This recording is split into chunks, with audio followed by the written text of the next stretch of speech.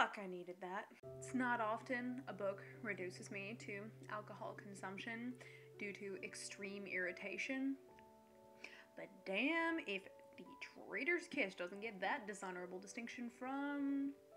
Yeah, pretty much page one. Cards on the table. I wasn't exactly super excited for this book. It just didn't seem like it was really gonna be my cup of tea, but there was just enough in the description to make me think that maybe, just maybe, I could be surprised by this book. I mean, it's happened before. I think of when I reviewed Wintersong by S. Jae-Jones. I went into that book with like ridiculously low and, well, ridiculous expectations and came out really quite amazed by that book. And so I remained ever the optimist that, you know, this book would manage to exceed my very low expectations for it. Um, yeah, not only did Traitor's Kiss not exceed my very low expectations, it didn't even manage to fucking meet them. I don't think there are enough negative words in the dictionary to express my level of irritation, of uh, disappointment, and by this point, basically blistering rage with this novel.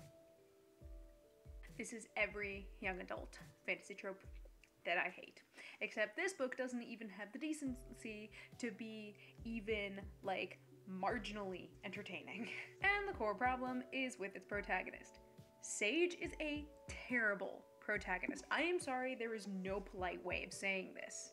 She's awful. Clearly, the author wants her to be special, uh, because boy, does she go out of her way to make sure Sage like isolates herself from every other character. But what really got me, oh, what really got me, the amount of vitriolic you other girls dress up and pay attention to your appearances. And so clearly you are vapid and shallow, and I am so much better and so much smarter than you because I don't. Level of hate that comes out of this character, either in her constantly running inner monologues or in her actual dialogue. It's just staggering and exhausting.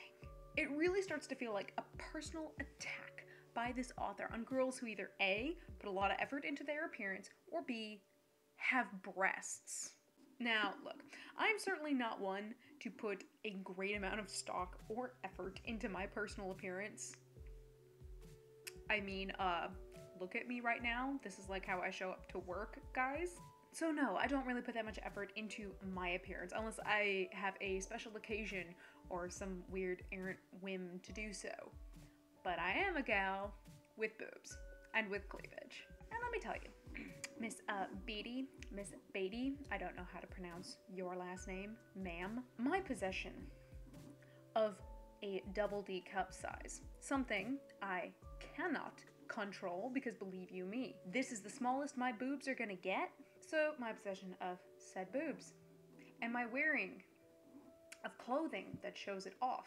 Not always within my control because thank you clothing makers, but oftentimes a personal choice because I happen to like slightly lower cut things, t-shirts being the big exception, does not in any way make me supercilious, make me vapid, or make me unintelligent because my possession of breasts has no correlation whatsoever to my intellect. So, what is with this character, with Sage's.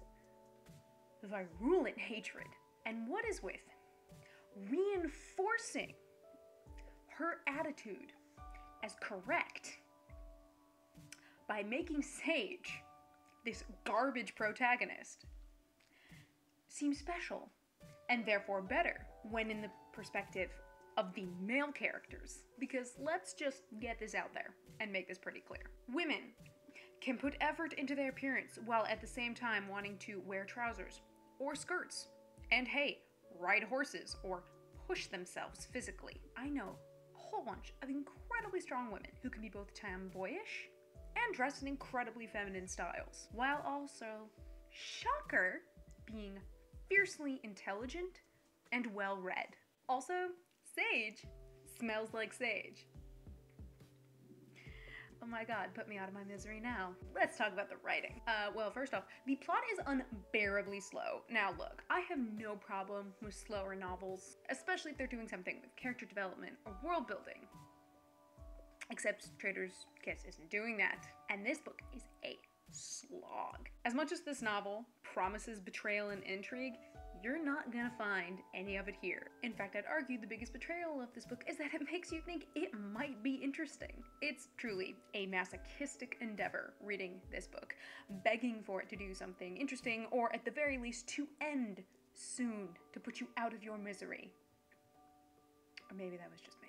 Doesn't help that there are moments when Miss Biddy actually wrote freaking jump cuts in the middle of her book without even the decency of putting a like space or a chapter break. I'm not even kidding you, like a jump cut. You are in the middle of a scene leading up to something, and then all of a sudden you cut to something else entirely, like maybe five minutes later, with no warning.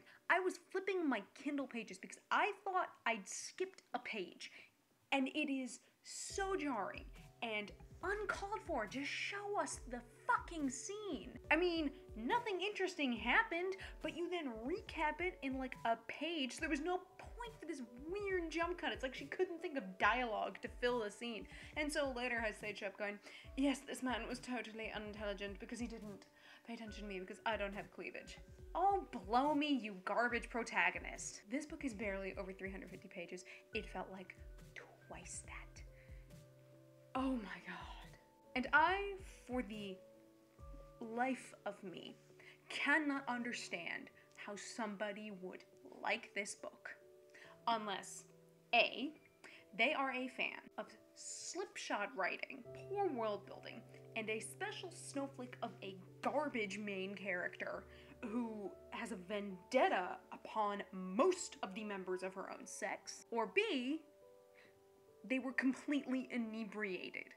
Because that is the only way I could understand someone genuinely enjoying this book. You know, no, no, it, it's not, it's not even worth it. Thanks for watching me ramble today.